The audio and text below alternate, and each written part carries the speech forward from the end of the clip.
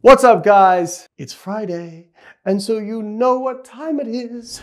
It's what the fitness time. Let's get them.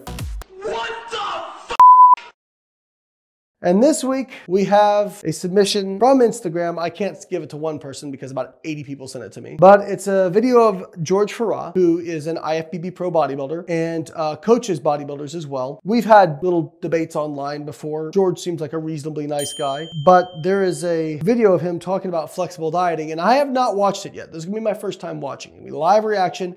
I'm going to try to make it through 30 seconds at a time before giving my thoughts. I am assuming it's going to be a lot of the same straw man arguments that most people make regarding flexible dieting. A calorie isn't just a calorie, or can't tell me that a thousand calories of M&Ms is the same as a thousand calories of chicken breast. But let's watch it and see what happens.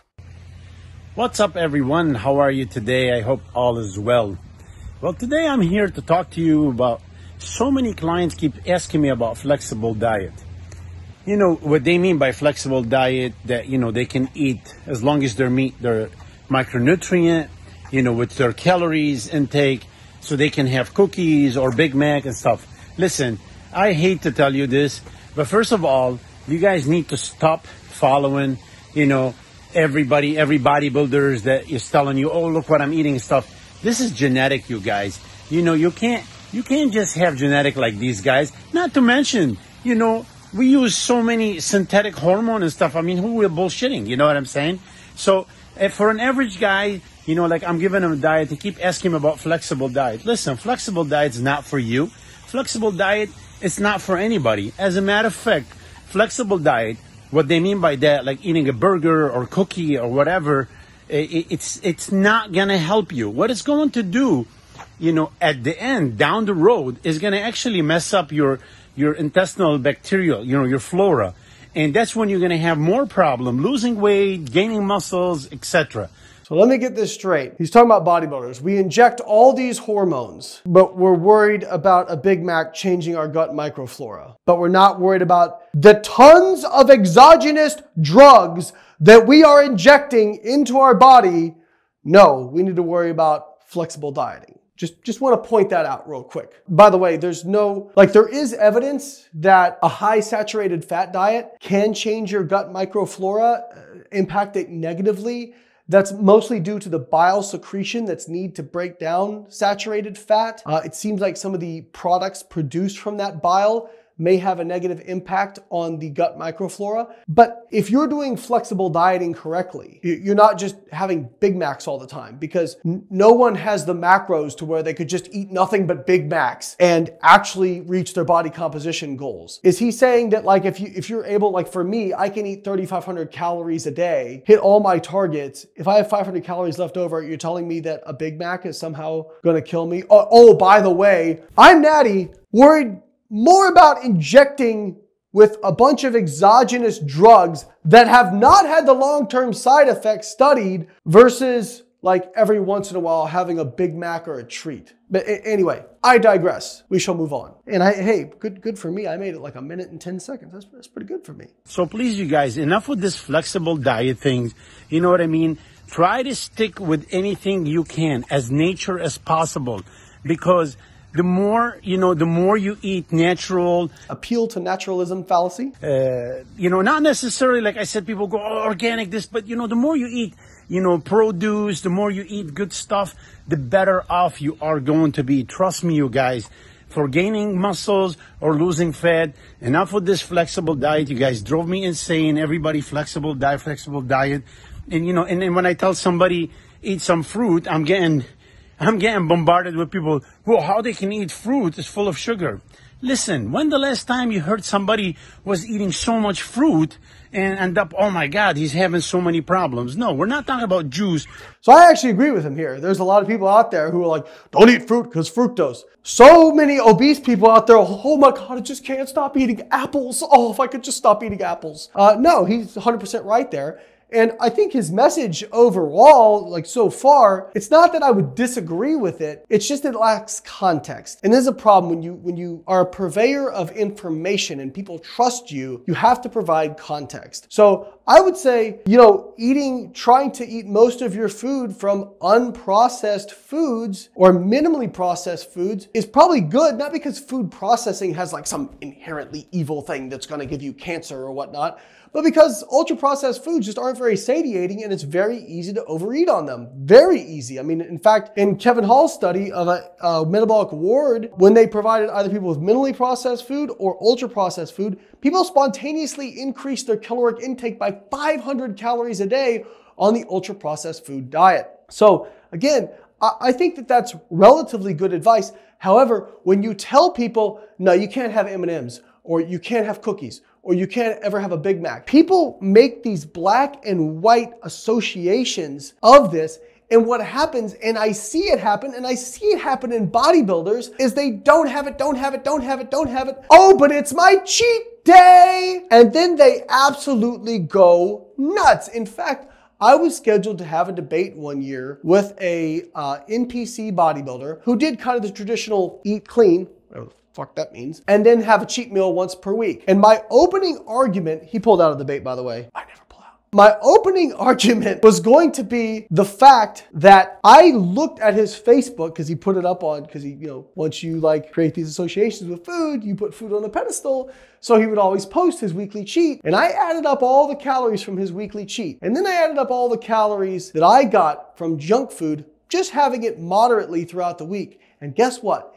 He was actually having more calories from junk food on his cheat day than I was by having it moderately throughout the week, just as part of my everyday diet. So you're telling me that binging on junk food on a cheat day is fine, but fitting it into a diet in uh, balanced proportions is not. Now, I'm not saying George particularly because he hasn't made that claim yet. However, I've seen many of his clients and I know their behaviors and I've, I've seen them at shows and I've seen them after shows. And if he's saying, well, never have this, you can never ever have it, good luck. Let me know how that works out for you and enjoy your eating disorder. We're talking about Go grab an apple, go grab an orange. You have fiber, you have pectin, you have so many things in it. It's all the nutrient in it.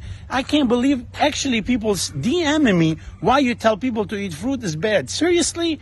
Now fruit is bad? My God, where are we doing wrong here? You know, so the french fries and cookies and all that sugar and crap and processed food, that's not bad, but you guys attacking me over fruit. Listen, man, I don't think those are the same people. I don't think anybody in the flexible dieting community is like, don't you dare eat that apple. That's bad for you. Yeah, I, I don't think anyone's making that argument. Um, I think he is uh, taking an argument from one group and comparing it to an argument from another group. Enjoy your life. Eat your fruit. Have whatever you want. Don't listen to people. Okay. Wait, and I'm not want. saying, listen, I'm perfect. Hey, I just had something, you know, a couple days ago. I went with the family and I had beautiful, nice, you know, bowl of ice cream. Every once in a while, we're human. But the bottom line, please, man, start sticking with nature. So it's not okay to have this stuff except when it's okay, but I can't give you a metric for that. Uh, okay. The more natural food you have, the better off you guys are going to be. Trust me.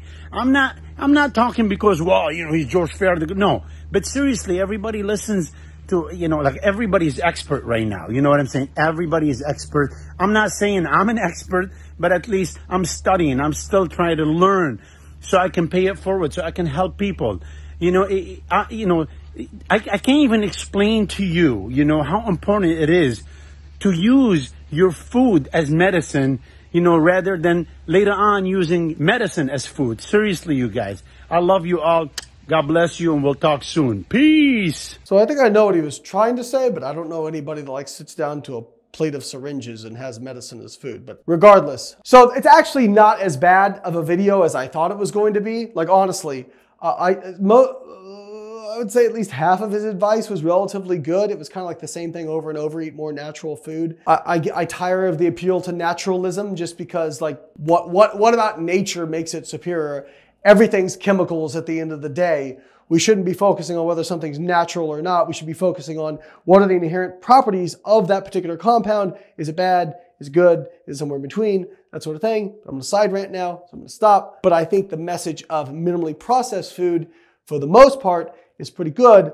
But there needs to be some context of, hey, you can still enjoy treats and whatnot. It just needs to be within the confines of what are your goals? Meaning, if you're a competitor, like let's say you're a 100 pound female getting on the Olympia stage for bikini and you're down to 1100 calories per day, well, yeah, you're probably not going to want to have a Big Mac because there's no way you're going to hit your macros by having, you know, five, half of your calories come from a Big Mac. But by the same token, if I've got somebody like, for example, me when I was in a gaining phase and I was up to like almost 4,000 calories a day, try eating 4,000 calories a day from minimally processed food. Your stomach is going to be so distended from the fiber intake that you're going to want to die. It's horrible. You're also enjoy your gas, by the way. So in that aspect, actually having some processed food can be a benefit because it can be less satiating and enable you to get more calories in. So again, this stuff depends on people's goals. It depends on the context.